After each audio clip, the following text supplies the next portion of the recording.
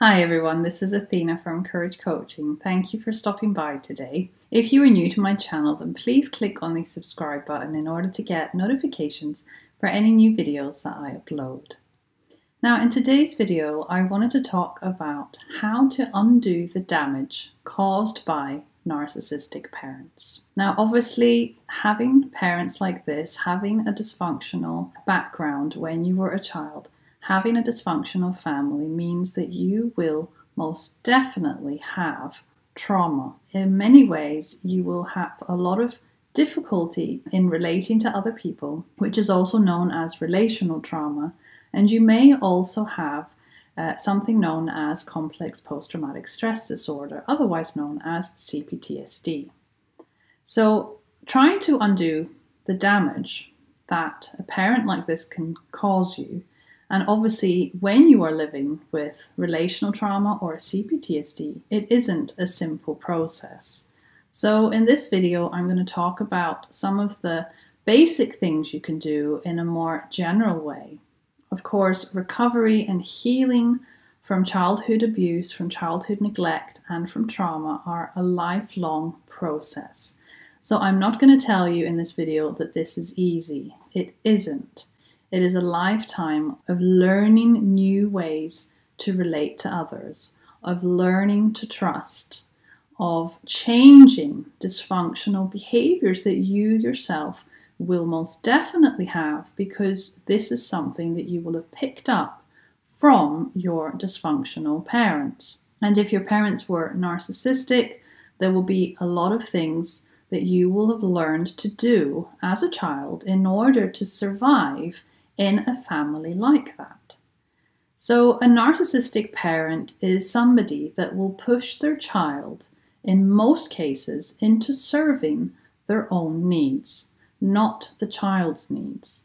The child's needs, unfortunately, are not that important to the narcissistic parent. They also don't have boundaries. So, a child that has a narcissistic parent will not know what healthy boundaries are because the narcissistic parent will be constantly crossing those boundaries and expecting their child to serve their every need. The good thing is, however, that an adult child can reclaim their life by facing the reality that their parent is indeed flawed, is indeed toxic, and may also actually be narcissistic or borderline.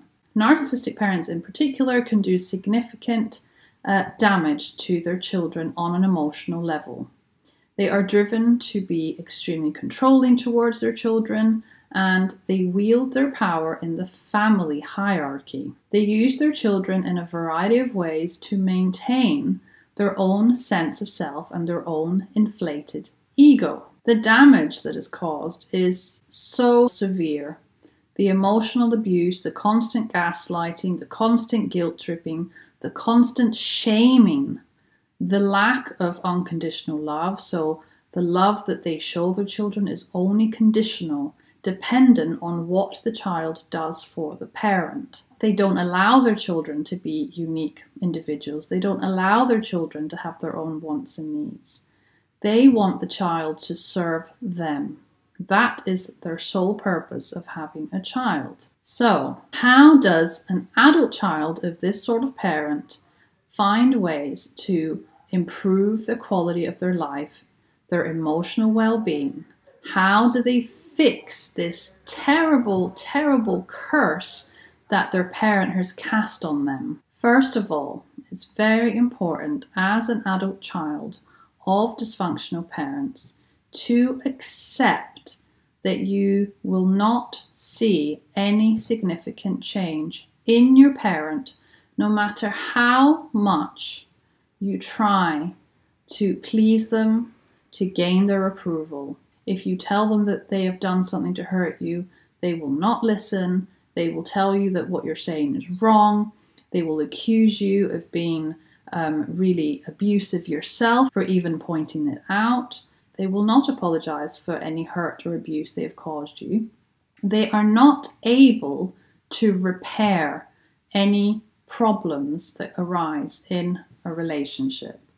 So, number one, accept that you won't see any change in your narcissistic parent. They don't change. Secondly, you have to take responsibility for your own life and your own choices, as you are the only one that has the power to control how you respond to things and how you behave in the present and in your future. So, you may notice that you are repeating certain destructive behaviors. You may notice that you are constantly attracting dysfunctional or toxic partners. Question these things. Ask yourself, why am I doing this? Why am I falling into the same dysfunctional relationship? Why are all my friends like that? Why do I always feel like I'm in relationships where I give more and I receive less?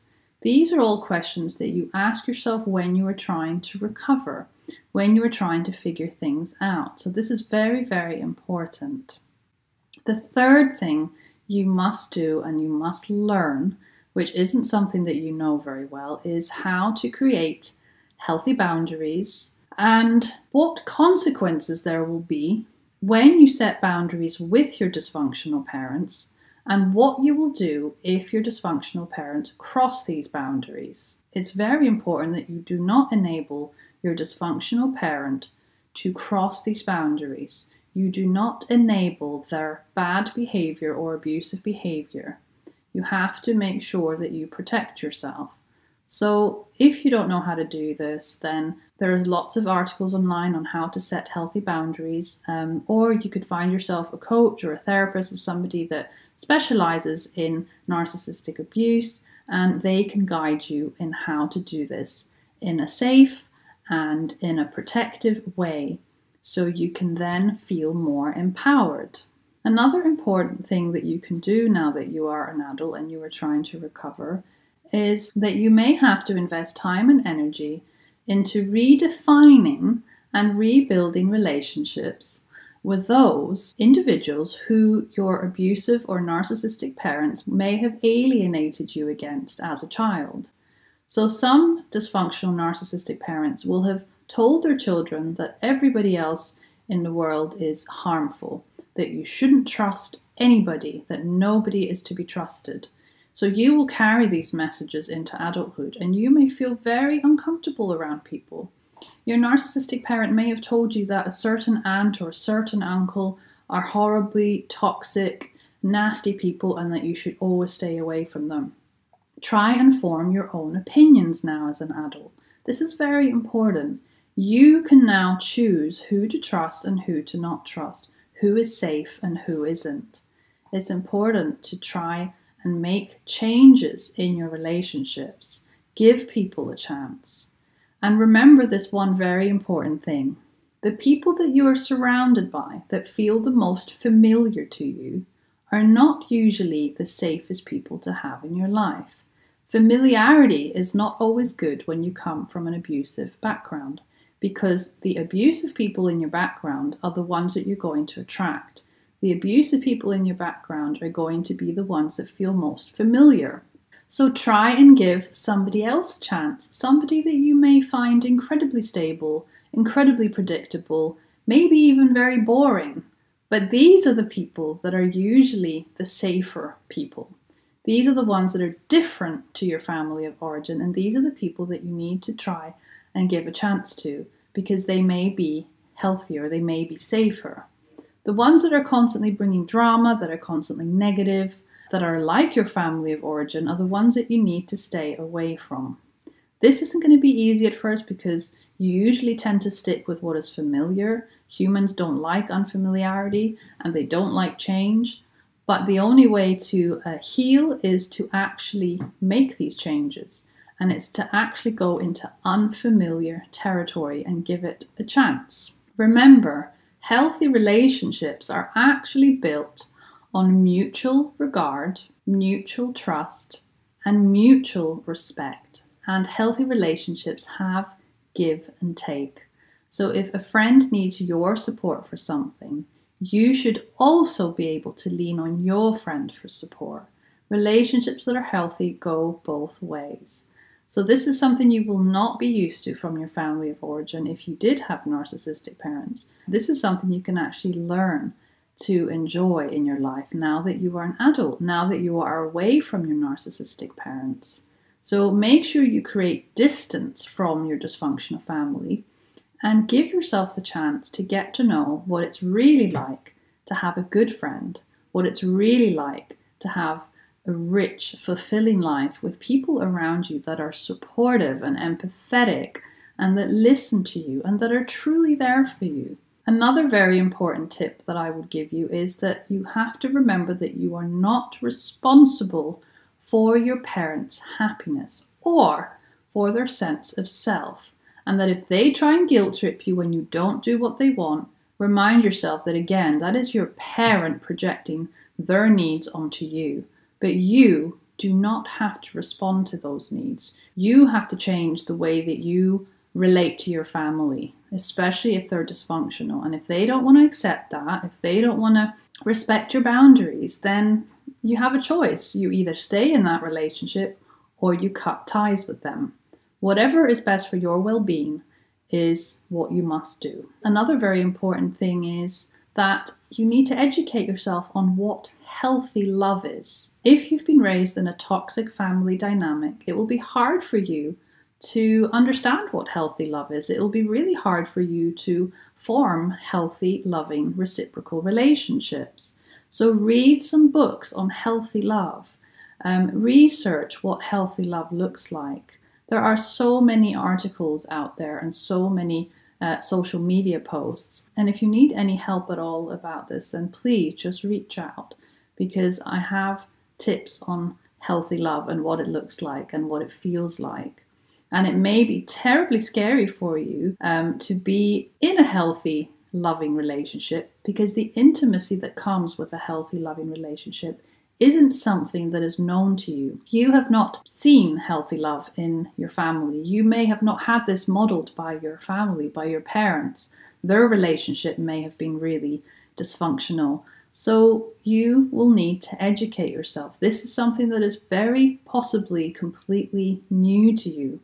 So educate yourself on healthy love so you don't end up in unhealthy uh, relationships. This is very important. Another thing that you must do on your healing journey is to grieve the childhood you never had.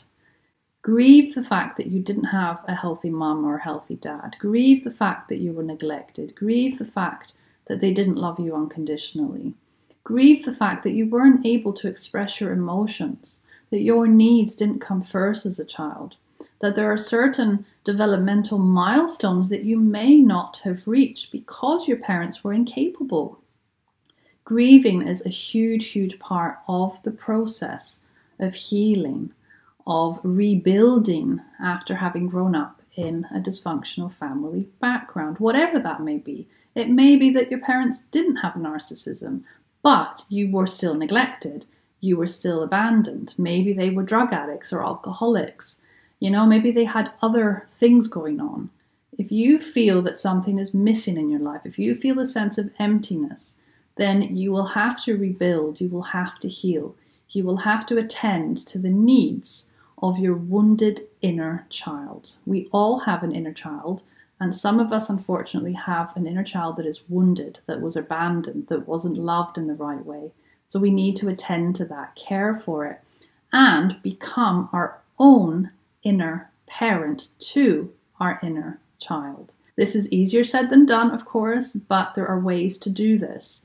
So grieve, allow those emotions to flow, and then rebuild. Give yourself all the things that you didn't get growing up. So I hope some of these tips were useful for you. Like I said at the beginning of the video, it is very difficult to completely undo the damage done by your narcissistic parents. But if you have the time, the energy, to spend on this recovery, you will get there. You will notice differences in your life. You will notice changes in your life. You just need the right guidance.